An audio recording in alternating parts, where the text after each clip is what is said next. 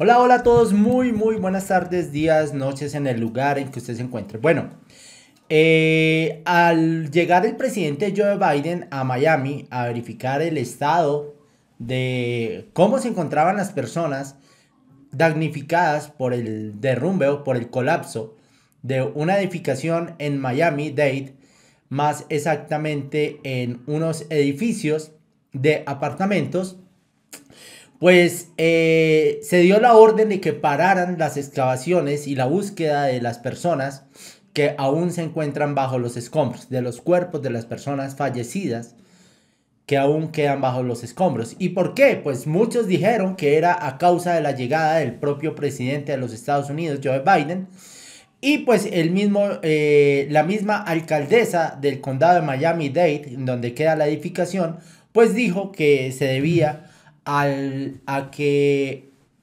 peligraba la vida de los socorristas que se encontraban dentro de la búsqueda de los escombros, la búsqueda de las personas, puesto que el edificio que aún quedaba en pie estaba a punto de colapsar. Debido a eso, la noche anterior, es decir, eh, esta noche que pasó, pues se dio la orden de la, el derrumbe de las torres que quedaban en pie dejando mucho dolor, dejando eh, los enseres de las personas que vivían allí eh, atrapados.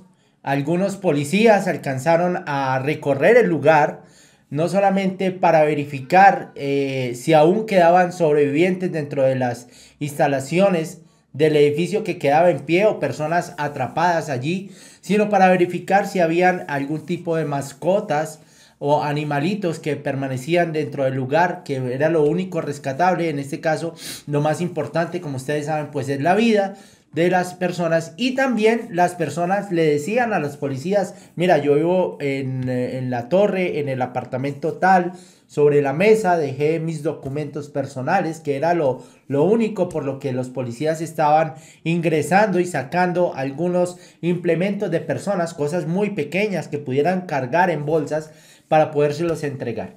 Queda mucha desolación, queda mucho, mucha tristeza en el aire. Eh, perdieron absolutamente todo. Eh, muchos perdieron familiares.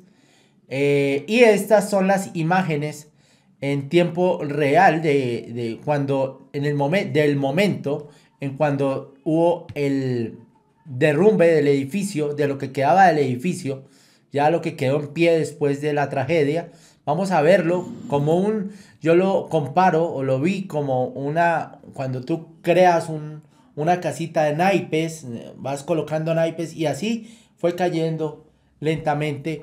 Y bueno, esto ha servido también para que ya hayan encontrado más cuerpos, ya los organismos de socorro estén más tranquilos buscando algunas algunos restos de personas eh, que aún están atrapadas dentro de los escombros. Vamos a ver el momento exacto del colapso. Se escucha la detonación y la caída de la torre que quedaba en pie. Bueno, señores, pues eh, fuerza a todas las personas que se encuentran allí. Yo sé que no es fácil perder un familiar o perderlo todo y más en Miami, como es algo eh, costosa la vida allí. Eh, pero muy seguramente el estado o Miami Dade proporcionará algún refugio para estas personas y alguna ayuda temporal mientras pasa la tempestad. También los organismos de seguridad estaban muy atentos, pues viene una tormenta tropical y pues están a contratiempo, ¿no? Eh, necesitan rápido sacar los más de 124 cuerpos que aún se encuentran desaparecidos dentro de los escombros que estaban dentro del edificio colapsado. Nos vemos en el próximo video. Gracias por estar acá y chao.